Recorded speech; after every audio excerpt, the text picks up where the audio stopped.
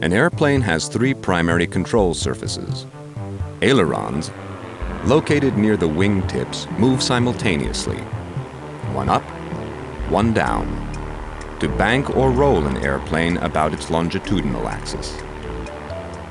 The rudder, mounted on the vertical stabilizer, swings left and right to control yaw, rotation about the airplane's vertical axis. The tail also includes an elevator, which controls the airplane's pitch attitude, or movement about the lateral axis.